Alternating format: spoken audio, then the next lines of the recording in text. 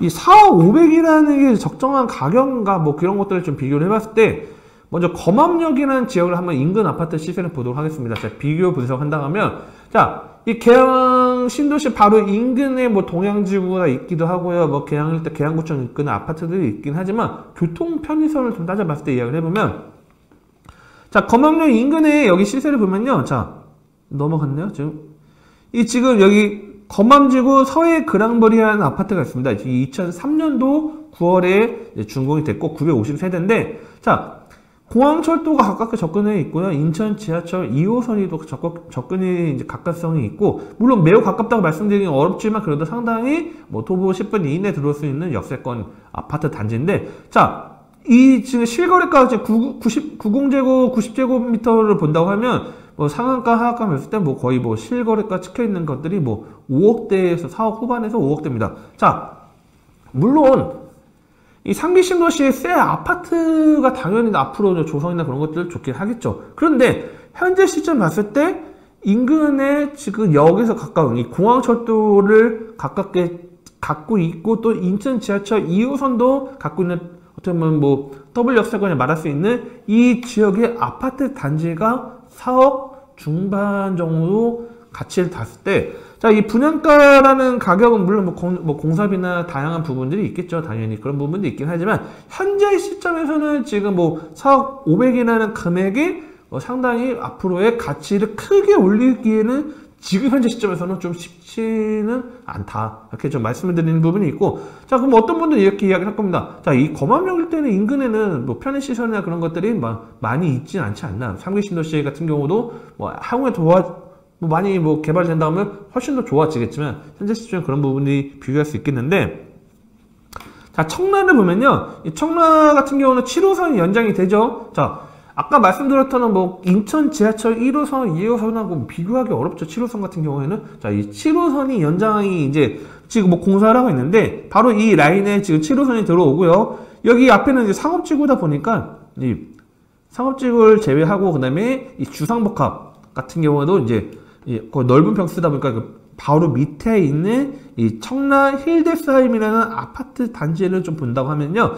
자, 2011년도 7월에 준공이 됐습니다. 뭐 10년이 넘은 아파트긴 하지만 인근의 청라 국제도시의 편의시설을 이용할 수 있고요. 향후에 이 7호선이 연장이 된다면 상당히 가깝게 역을 이용할 수 있는 부분들이 있는데 자, 8사제곱 같은 경우를 기준 보면요.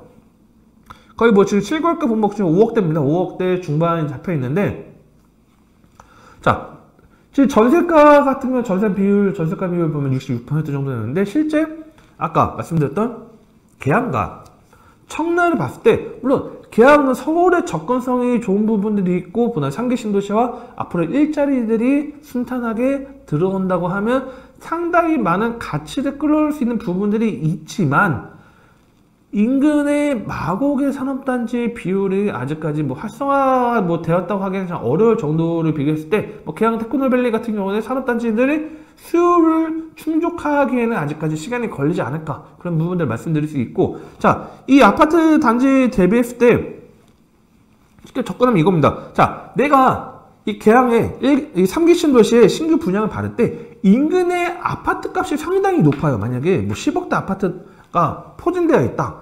자, 아파트 10억대 포진되어 있으면 당연히 어, 저평가되어 있다. 또는 아, 나중에 우리가 분양가가 싸기 때문에 향후에 입주할 때 시점에는 어느 정도 가격 상승을 크게 바라볼 수 있겠다. 그렇기 때문에 여러분들이 실제 뭐 우리 보면 분양 보면 줍줍이라 해가지고 뭐 분양 뭐 두 세대 세대 세대도 당연히 뭐 어느 정도 시세 차익이 날 수 있기 때문에 경쟁 청약이 도전하는 건데 자 여기 같은 경우에 인근의 아파트 값이 지금 뭐 입지 좋다고 하는 7호선에 가까운 지역이나 또는 공항철도 가깝게 바로 근처에 있는 아파트 단지들을 봤을 때 5억대의 가격대가 형성되어 있다는 것은 반대로 말하면 이 계양 테크노밸리 아파트 가격이 뭐 10억 이상 크게 오르게 지금 현재 시점에서는 좀 어렵지 않을까. 자, 그러면 이제 어떤 뭐 반대적인 이야기 뭐 이야기를 해본다 하면 아, 대장 홍대선이 만약에 계양까지 들어온다면 가격이 크게 오르지 않을까요? 뭐 당연히 계양보다 좀 더 서울에 가까운 대장 일대 가격 상승이 당연히 클 거고요. 뭐 대장 일대보다 더 아예 서울이라 말할 수 있는 강서 일대나 또는 뭐이 덕원주구 일대가 가격이 크게 오를 수 있겠죠. 물론 덕원 같은 경우에는 물론 높은 가격이 뭐 분양가 뭐 이미 뭐 형성된 부분들도 있고 뭐 분양가 상한제 적용된 당시에 상한보다 오히려 덕원주구가 분양가가 높았던 역, 역, 뭐 역으로 또 분양가가 높았던 그런 뭐 일정 뭐 시대도 있긴 했었지만 실제적으로 그렇다고 하면 투자 포인트 잡은다 하면 아, 이 서울이 때에 대전 홍대선 있는 연결되는 지역 인근의 저평가 지역을 노리는 게 좀 더 좋지 않을까 이렇게 좀 말씀드리도록 하겠습니다. 자, 동남부 입지 갑자기 나오는데 자, 동남부 입지를 제가 설명을 드리려는 건 아니고 어떤 내용을 말씀드리고 싶냐면 자, 이겁니다. 자, 우리가 투자를 할 때는 보통 이제 여러분들 투자할 때는 내가 알고 있는 지역 인근에 투자하는 경우가 많습니다. 내가 살고 있는 지역 인근이 아무래도 아는 정보들도 많고 또 가깝다 보니까 친근한 부분도 있고 내가 살고 있는 지역과 비교하기 좋기 때문에 투자를 많이 하시는데 만약에 어 뭐 예를 들어서 뭐 지금 경기도 오산에 사시는 분한테 경기도 뭐 고향에다가 투자를 분석하시려면 뭐 잘 아시는 분이 아니라 하면 생소하겠죠. 뭐, 일, 뭐 서로 은평 일대 뭐 특별히 가실 이유도 없을 거고 뭐 친인척이 있지 않는 이상 뭐 놀러 가시거나 그럴 수는 있긴 하겠지만 자 마찬가지입니다. 이 동남부 쪽에 뭐 거주를 안 하시는 분들은 어 이쪽은 내가 잘 모른다 하시는 분들 많을 텐데 제가 이걸 왜 말씀드리냐면 비교 분석을 하기 좋기 때문에 말씀드리는데 자 볼게요.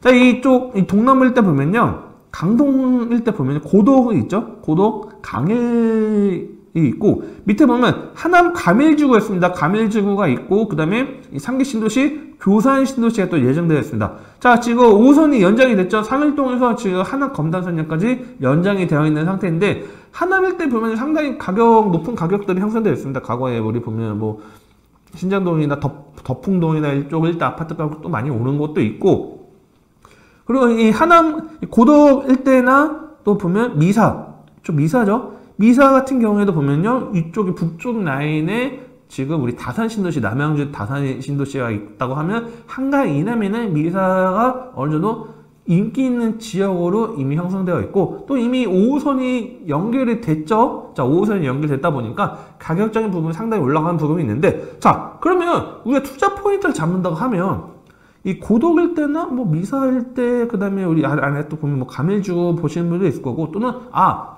이쪽은 이미 가격 오르고 내가 또, 또는 앞으로 미래 가치를 봤을 때는 뭐 가까운 뭐 교산 신도시 투자를 해야겠다 하시는 분들 많을 겁니다. 그런데 생각의 전환을 좀 하는 것도 중요하지 않을까 생각이 드는데 자 그렇다고 하면 자 입지적으로 봤을 때 여기 지금 고덕 그 다음에 미사 그다음에 가밀 교산 이쪽에 있는 분들이 뭐 사무관 연장안도 있다고 하지만 자 결국은 기본적인 서울 출퇴근 하려고 하면 어느 쪽으로 해야 되죠? 송파나 이 강동 천호나 이쪽을 통해서 잠실로 통해서 접근을 해야겠죠.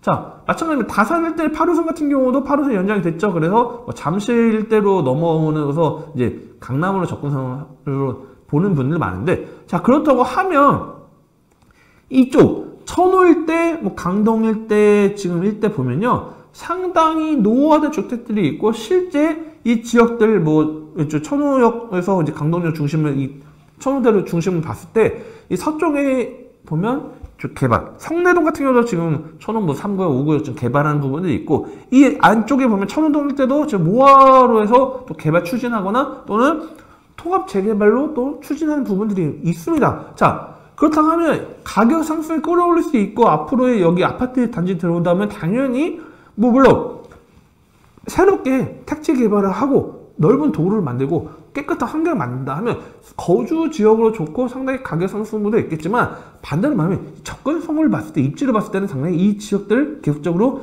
개발이 될 수밖에 없는 현황이고 실제 개발이 되고 있죠.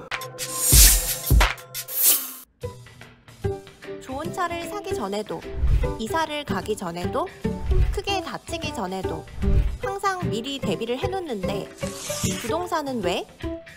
사전 점검 서비스는 부동산 매물을 사거나 짓거나 하기 전에 법률부터 부동산 정보까지 한 번에 미리 대비하는 서비스입니다. 영상에 나오는 연락처로 많은 신청 부탁드립니다. 또 다른 세상을 맞이하라. 낡은 정보를 지워라. 새로운 감각을 익혀라. 변화하는 미래에 맞서라. 편향된 시각을 버리고 얽혀있는 도시 속 독보적인 가치를 쟁취해라. 당신이 만드는 미래의 기회, 도시화 경제.